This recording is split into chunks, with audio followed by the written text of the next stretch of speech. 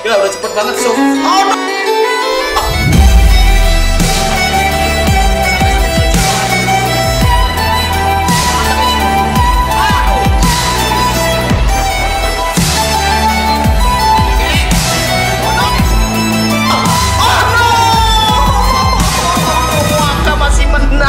Kenapa?